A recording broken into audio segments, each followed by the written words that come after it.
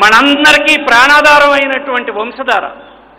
ఆనాడు ఈయన తండ్రి గారు అయినటువంటి రాజశేఖర రెడ్డి శాంక్షన్ ఇస్తే తర్వాత ఐదు సంవత్సరాల్లో అది పూర్తి కాకపోతే ఈనాడు మళ్ళీ జగన్మోహన్ రెడ్డి వచ్చిన తర్వాత ఈ సమస్య మరి పరిష్కారం అవడం లేదు. కోర్టులో వచ్చినా ఇబ్బంది అవుతుందని చెప్పి ఆయనే స్వయంగా ఒరిస్సా వెళ్ళాడు.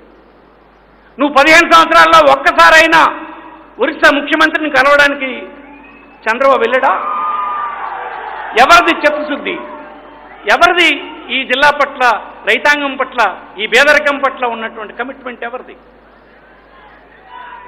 ఒరిస్సా నుంచి వచ్చారు. వచ్చినాక ఇంకా ఆలస్యం అవుతుంది. రిజర్వాయర్ తయారైపోయింది. రెండు వేల కోట్లు ఖర్చు పెట్టేశాము. ప్యాకేజెస్ అన్నీ కంప్లీట్ అయినాయి.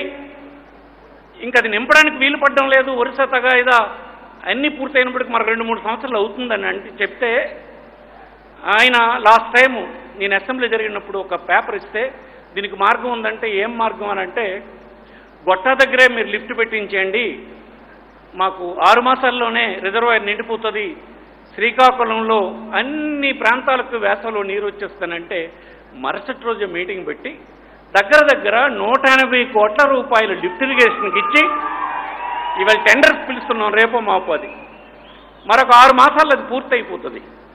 అది పూర్తయితే రిజర్వాయర్ పంతొమ్మిది టీఎంసీ నింపి శ్రీకాకుళం జిల్లాలో ఆరు నియోజకవర్గాల్లో ప్రతి గ్రామంలో మే పదిహేనవ తేదీని కూడా అంటే పిట్టలు ఎండకు పటాపటా చచ్చిపోయినటువంటి సమయంలో చల్లటి నీరుని జగన్మోహన్ రెడ్డి గారి నిర్ణయం వల్ల ఈ జిల్లాలో తీసుకెళ్ళడం జరుగుతుందని మీకు మనం చేస్తుంది ఎవరిది చెప్తుంది? ఎవరిది ఈ జిల్లా పట్ల రైతాంగం పట్ల ప్రేమ కలిగిన వాళ్ళు చెప్పండి. వారి తండ్రి ఉంటే యూనివర్సిటీ పెట్టారు. ఆ తండ్రి ఉంటే మెడికల్ కాలేజ్ పెట్టాడు. ఈ ప్రాజెక్టులు ఇచ్చాడు.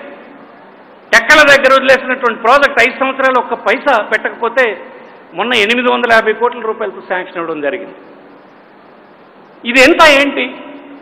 ఏ భేదవాడితాలుగా జీవనం దెబ్బతినకుండా అందరికీ అవినీతి లేకుండా వారి జీవనం స్మూత్గా సాగిస్తూనే ఈ అభివృద్ధి అంతా చేయడం జరుగుతుంది. ఇప్పుడు వచ్చి చెప్తారు ఆయనకు అనుకూలంగా ఉన్న పత్రికల్లో రాస్తారు. ఏంటంటే ఒక బొక్క చూపించడం ఈ రోడ్డు బొక్క అయిపోయిందని చెప్పడం. ఎప్పుడైపోయింది బొక్క? ఎప్పుడు వచ్చినాం మనం? మూడున్నర సంవత్సరాలు అయింది మనం వచ్చి ఒక నువ్వు సరైన రోడ్డు నువ్వు వేసి ఉంటే సరైన రోడ్డు కానీ నువ్వు అధికారంలో ఉన్నప్పుడు వేసుంటే ఉంటే మూడున్నర సంవత్సరాలకు ఎందుకు బొక్క అయిపోయింది?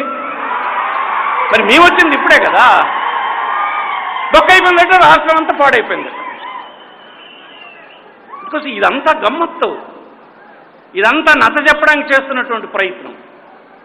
అభివృద్ధి లేదు అంత పాడైపోయింది. ఏ ఏ విషయంలో పాడైపోయిందో చెప్పు. లక్షా డెబ్బై మూడు వేల కోట్ల రూపాయల డబ్బుని కడతా మూడున్నర సంవత్సరాల్లో మీ అందరూ హాయిగా ఉండడానికి అకౌంట్లో వేస్తున్నారే? ఒక్క నయా పైసా? ఒక అధికారి లంచం అడిగాడనో? ఒక కార్యకర్త నాకు అడిగాడనో? చెప్పగలరా? ఇది కదా మార్పు. నేను అడుగుతున్నాను మీ అందరికీ. ఇప్పుడు ఇక్కడ ఒక ఇరవై వేల మంది ఉన్నారు అడుగుతాను. ఎవరైనా చెప్పగలరా? లేదు. ఇది మార్పు కదా? గొప్ప మార్పు ఇది. ఒకనాడు ఒక ప్రధానమంత్రి చెప్పాడు ఈ దేశంలో కేంద్రం నుంచి పంపిస్తున్నటువంటి నిధులు తొంభై శాతం మధ్యవర్తులకు వెళ్ళిపోతున్నాయి. ఇది మరి చేయలేకపోతున్నామని ఇసిగిపోయినటువంటి సందర్భాలు ఉన్నాయి. ఈనాడు లక్ష డెబ్బై మూడు వేల కోట్ల రూపాయలు మూడున్నర సంవత్సరాలుగా పంపిణీ చేస్తే ఇది దేశంకి ఆదర్శం కదా ఇది. దేశంలో ఇంకెవరూ చేపట్టేటువంటి కార్యక్రమం కాదు. నేను ముందు చెప్పిన సర్వే కూడా అదే. మనం నెంబర్ వన్ ఉన్నాం ఒకటి రెండు స్టేట్లు ఇంకా ప్రారంభించినాయి. మనం ఉపయోగించిన టెక్నాలజీ మనం ఉపయోగించిన పద్ధతులు మనం చేస్తున్నటువంటి పనులన్నీ తెలుసుకొని ఇతర రాష్ట్రాల్లో ప్రారంభించే స్థితికి వచ్చాం. టైం పడుతుంది ఇరవై మూడు అవుతుంది.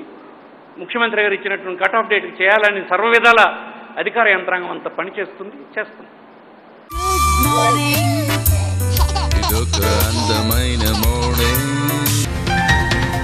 మొబైల్లో సాక్షి ఈ పేపర్ చదువుతున్నారా? మరిన్ని ఫీచర్లు అదనపు సౌకర్యాల కోసం యాప్ అప్డేట్ చేసుకోండి. లేదా ఆండ్రాయిడ్ యాపిల్ స్టోర్ నుంచి రీఇన్స్టాల్ చేసుకోండి. లాగిన్ చేయండి. మీకు నచ్చిన ఎడిషన్ చదవండి. కావలసిన వార్తలను క్రాప్ చేసుకోవచ్చు షేర్ చేసుకోవచ్చు.